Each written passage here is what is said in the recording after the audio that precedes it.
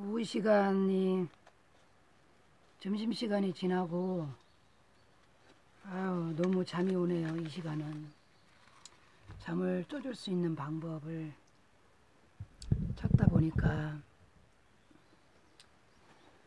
아 오늘은 커피 한 잔이 생각이 납니다. 오전에 농사일 좀 하고 근래 그 일하면서 핸드폰을 도로에다 올려놓고 일을 하다가 우리 순놈 강아지 이름이 곰인데 곰처럼 무뎌요. 어리숙하고 근데 힘은 좋아하고 그놈이 신기한지 막 그냥 아작을 냈더라고요. 그래서 아예 다 고장난 건 아니고 액정이 다 깨졌어. 오늘 서비스 센터 가서 액정 수리를 하고 갔다 비, 비가 많이 오더라고요. 음, 비 속에서 음, 와서 좀 낮잠을 좀 잘까 생각하다가 어제 그제 제 아시는 지인분이 원두커피 에디오피아 알커피를 놓고 간 게 있어가지고 오늘 커피를 좀 갈아서 여러분들과 함께 향긋한 원두커피 한 잔 내려 먹을까 하네요. 어디나 뭐 서비스 센터든 어디든 뭐 농협이든 가보면은 요즘은 다 이렇게 설탕, 프림, 커피 들어있는 달콤한 삼색이라죠 삼색. 옛날에는 뭐 연기 기부인 커피라는 말도 하고 별말을 아주 그냥 애칭이 많더라고요. 저는 삼색이다 이렇게 표현을 해요. 세 가지가 잘 들어있다를 삼색. 참 좋아했습니다. 맛이 좋고 끊지를 못하겠더라고요. 예, 끊지를 못했는데 그 다음에 이제 콜레스테롤이 뭔지 그 콜레스테롤 때문에 그 맛있는 삼색조차도 이제 사실은 왜 산에 올라 등산 타고 정상에 올라가서 보온병에다가 따뜻한 물 담아가서 거기서 이제 그 삼색 커피 한 봉 넣어서 이렇게 따라서 이렇게 마시면 참 맛이 좋죠. 네. 어, 그 차라는 것은 사람한테 여유를 줄 수 있는 시간을 주는 것 같아요. 여유. 음, 그런 시간, 여유의 시간. 근데 그거보다도 슬로우하고 천천히 하는 것이 이제 어, 알커피를 직접 갈아서 내려서 먹는 건데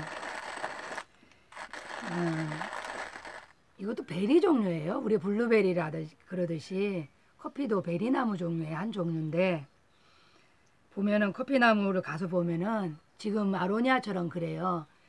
어, 말겠고 그렇게 키도 많이 안 커요. 근데 안 크는데 이제 빨갛게 베리가 열리죠.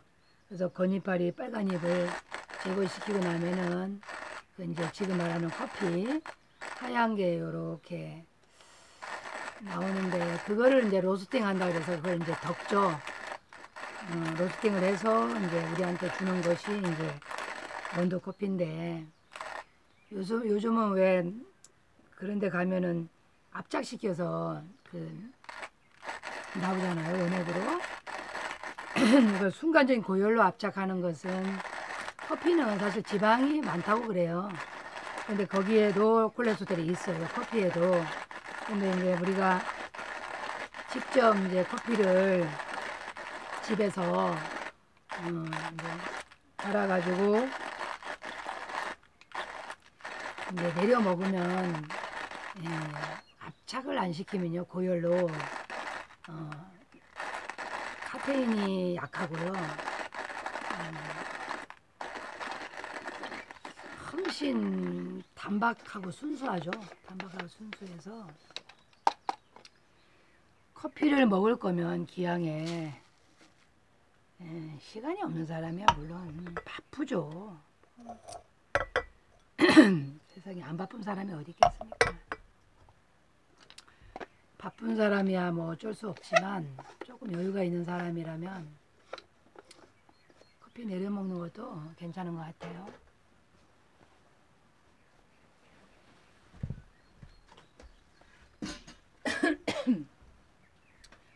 커피가 고열로 막 펄펄 끓였을 때 고열로 내리면 따뜻한 커피라서 고열이 내려야 된다 생각하지만 그렇지 않더라고요. 저는 한 7, 80도 좀 식혀가지고 그래서 천천히 아주 천천히 내려 먹거든요. 왜냐면 처음에 음, 얘들이 조금 이렇게 머금을 수 있도록 그 500원 동전 크기 정도로 이렇게 적셔줘요. 그러면 이 습금 습기를 머금는 소리가 타닥 타닥 들려요. 귀로 대보면 이렇게.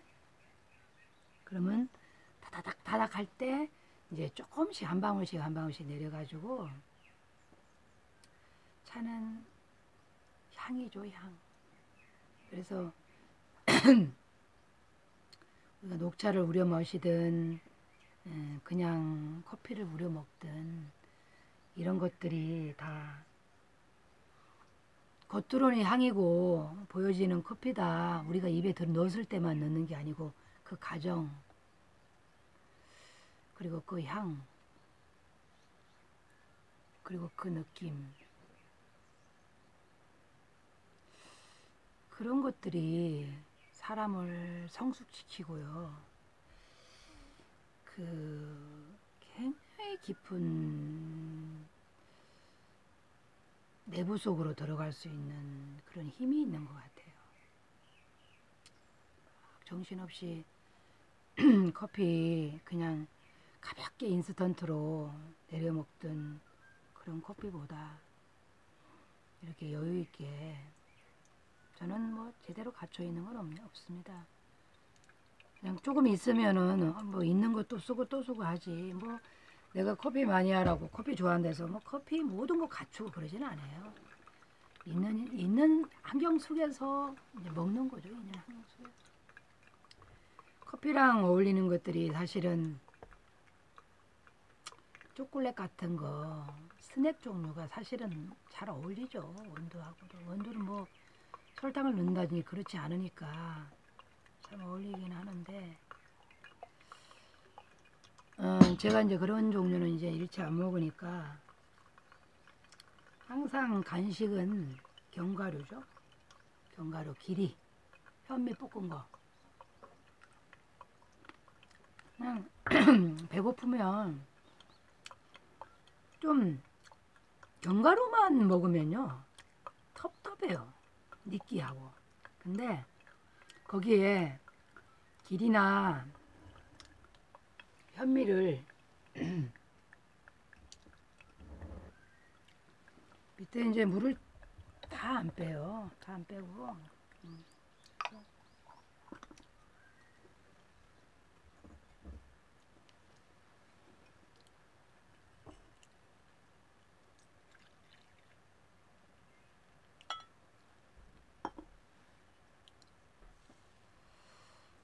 음, 이렇게 내렸습니다.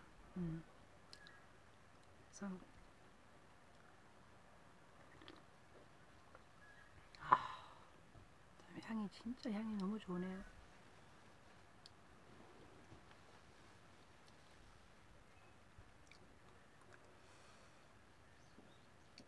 우리가 태어났을 때 첫 걸음마를 뗀다고 그러잖아요. 그럼 우리는 장거리 마라톤을 하는 거거든요. 장거리 마라톤. 아기가 첫 발을 디뎠을 때가 이제 내 인생의 시작인 것이고요. 내 숨이 멈추는 날이 그 날이 내 마라톤의 끝인 거죠. 인생의 마라톤의 이제 끝이 내 숨이 거두는 그 날이죠. 그런데 어? 우리가 장거리를 마라톤을 뛴다고 생각합시다. 계속 어떻게 힘들게 쉬지도 않고 갈 수가 있겠습니까? 그러면 어떻게 해요? 인생이 지치지 않습니까? 우리 유명한 연예인들 참 많은 사랑을 받았던 대중 대중의 사랑을 받았던 분들도 그렇게 바쁘게 그래 뛰다가 그 여유를 잡을 수 없었기 때문에 인생을 포기한 사람이 어디 한둘이 있습니까?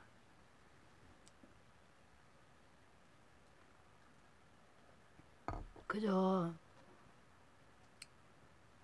우리 수만 번 돌리고 가세. 친구, 여보게나 친구, 우리 수만 번 돌리고 가세나. 뭐가 그렇게 빠르겠습니까? 얼마나 바쁘게 뛰어오셨습니까? 저도 제 인생을 한번 거슬러서 이렇게 돌이켜 생각해 보면, 야, 그때는 왜 그렇게 그것이 무슨 당장 그 일을 안 하면은 죽을 것과 같은 왜 그렇게 했었을까? 왜 그렇게 함으로 인해서 내 주변 사람들을 힘들게 하고 내 주변 사람들을 아프게 했을까? 그렇게 안 해도 됐는데. 근데 그건 제가 그 순간에 제가 그게 최선이었던 거죠. 예. 근데 어느 날, 어느 날, 어느 날, 팔부 능선 앞에서 문득 앉아서 보니까요. 그러지 않아도 되더라고요. 너무나 그 힘든 길을 그렇게, 그렇게 호적될 필요가 없더라고요. 그럴 때 잠시 쉬어서 여러분, 저희 집 앞은 이렇게 다 자연으로 이루어져 있습니다.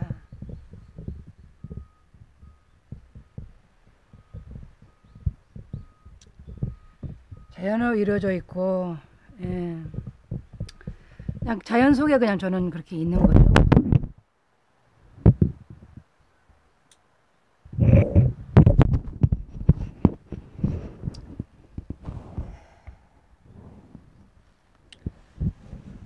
굳이 그렇게 힘들지 않게 해도 되니까요.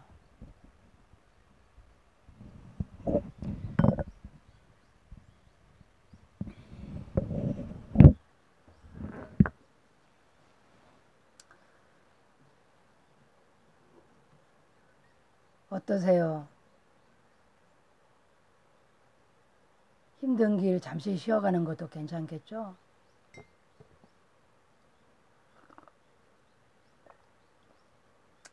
커피가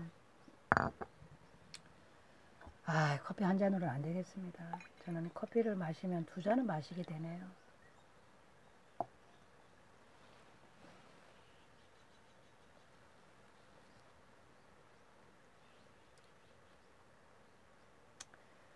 자연이 어, 해가 빨리 뜰 때는요. 같이 일찍 일어나서 빨리 움직이라는 뜻이고요. 그리고 날씨가 비가 오고 후충충하고 그럴 때는 사람도 좀 싫어하는 의미입니다. 그래서 우리들 왜 빗소리를 들으면 아 부침개가 먹고 싶다. 어머니가 옛날에 김치전 구워준 그 부침개 그것이 먹고 싶다 하죠. 참 저는 이렇게 비가 오고 고즈넉한 날이 되면 그냥 아주 따뜻한 차 한 잔 마시면서 벗과 함께 별 말을 하지 않아도 좋으니 바라보면서 차를 음미하고 싶을 때가 있어요.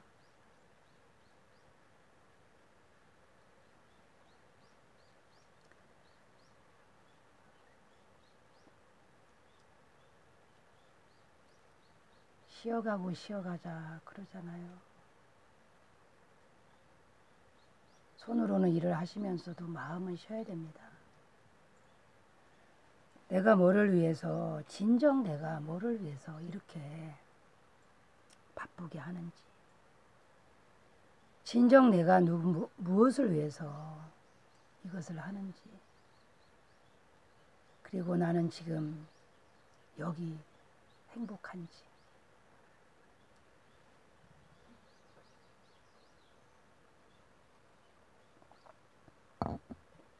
저는 그전에는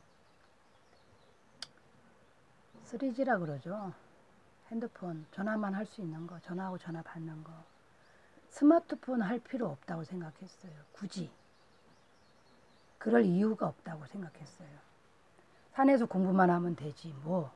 그게 왜 필요한 거야? 그랬는데, 그렇죠. 전기도 없이 사는 게 여기서 들어와서 전기 없이 10년을 살았고요. 작년에 전기 전봇대를 세웠고 전기를 넣었습니다. 그리고 스마트폰도 하나 구했죠. 그리고 세상이 보이더라고요. 예. 내가 바라보던 나의 세상, 내가 공부했던 내 세상하고 일반인들이 살아가는 그 세상이 스마트폰, 유튜브 속에 다 있더라고요. 거기서 저도 많은 걸 배웠습니다. 배우고 아 이렇게 참 지구촌 구석구석에 내가 이 깊은 산골 하동 어느 골짜기에 있어도 내가 나의 생각과 나의 이야기를 전 세계로 많이 표출할 수 있다면 정말 대단한 일이라는 생각을 하게 된 겁니다. 그래서 정말 저는 아무것도 할 줄 몰라, 몰라, 모르는데 스마트폰 하나로 제가 처음에는 그냥 재미삼아 하나 올리게 됐어요. 저를 알아봐 주는 사람도 물론 없고 조회수도 없어요. 그런데 그것은 중요하지 않더라고요. 예. 저는 저의 이야기를 하고 싶었고 그래도 어, 간혹 저의 이야기를 또 들어줄 수 있는 그 어떤 사람이 있어서 사이클이 맞아 떨어진다면 음, 그이한테 내가 어떤 전해줄 수 있는 메시지가 있지 않을까 그런 생각을 했습니다.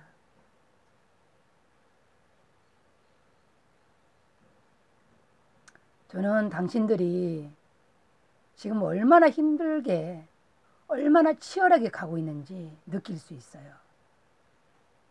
왜 그러냐면은 저도 힘들고 치열한 삶을 살아봤기 때문이죠.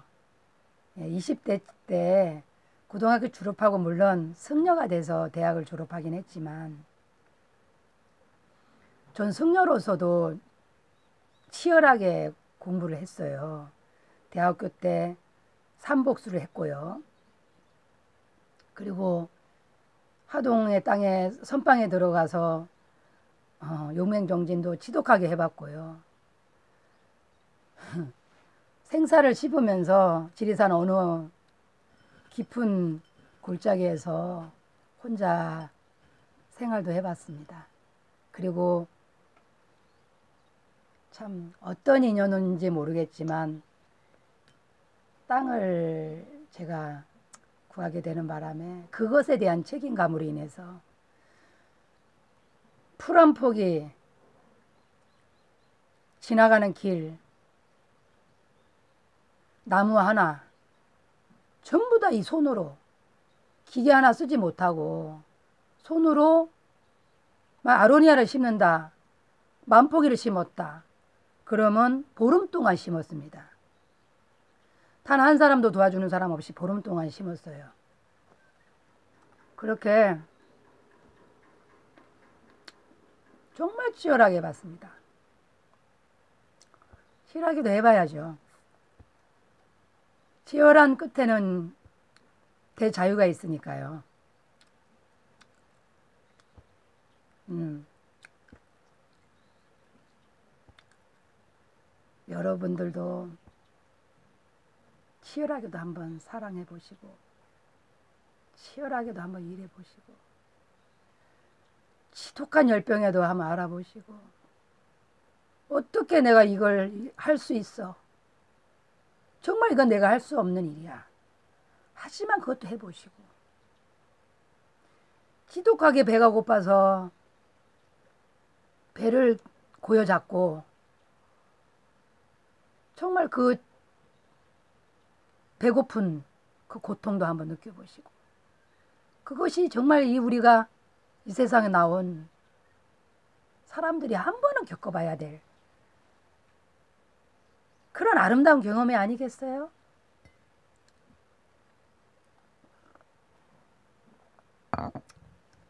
경험의 보따리를 제가 푼다면 이 자리에서 풀어놓는다면 1년은 걸릴 것 같은데 예, 지독한 고통과 지독한 수행의 그 밑바닥 그리고 노동 노동의 밑바닥 정말 사람으로서 견딜 수 없을 만큼의 고통의 밑바닥 그거를 다 경험해 봤기 때문에 제가 진실로 여러분들 곁에 다가가고 싶고 진정으로 저는 여러분들의 아픈 마음을 쓰다듬어 주고 싶고요. 저도 저의 힘든 아픔을 여러분들한테 위로받고 싶어요. 그래서 어떤 때는 저를 너무 자책해서 너무 쉬지 못하게 하더라고요. 그렇게까지 내가 해야 되나? 아, 그러는데, 요번에는 쉬고 있더라고요. 간혹 한 번씩은. 그래서 여러분들과 이 시간도 아주 저한테 아주 소중한 시간이고, 혹시나 저를, 저의 동영상을 보시는 분들이 저의 진심, 참 진심을 알아보신다면 그 고통이 아무것도 아니라는 것을 느끼게 될 거예요. 두 달 전인가요? 한 겨울에 불 떼고 살아요. 얇은 문 하나 있고 다 바람 다 들어오니까 굉장히 춥죠. 불을 떼고 방에 들어가도. 대전에 사시는 어느 유치원 원장 선생님이 너무 힘이 들다고 저희 집을 찾아오셨더라고요.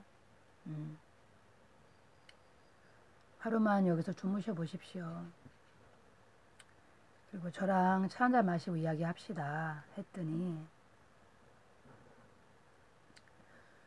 스님, 제가 스님 사는 걸 보고 차마 힘들다는 말을 못 하겠습니다. 왜 이렇게 50년대보다 더한 지독하게 어려운 환경에서 사시나요? 그래요. 제가 그랬어요. 당신은 훌륭한 아파트, 훌륭한 주택에 사시고, 뭐 연봉도 꽤 되시고, 그렇다면 정말 당신은 행복하십니까? 좋은 집과 편, 편리한 것은 현대가 다 갖고 있지만, 왜 옛날보다 더 많은 자살자가 생기고요? 왜 아픈 사람들이 더 많이 생기고 더 힘들까요? 저는 그거에 대한 해답을 저는 저 나름대로 찾고자 합니다. 라고 했어요. 힘드시죠? 정말 힘드신 분들은 꼭 저희 집을 한번 찾아주십시오. 그러면 그 힘들다는 생각을 송두리째 제가 잊어버리게 해드릴게요.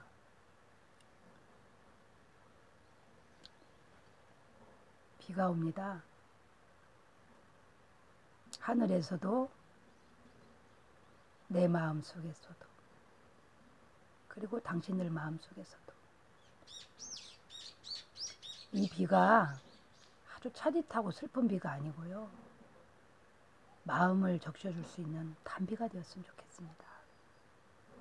여러분 모두들 따뜻한 차 한 잔 마시면서 행복한 오후 되십시오. 반가웠습니다.